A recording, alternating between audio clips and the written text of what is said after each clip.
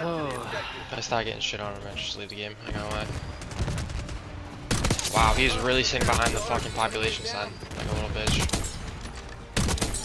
Bug feed. Go crazy, Jack.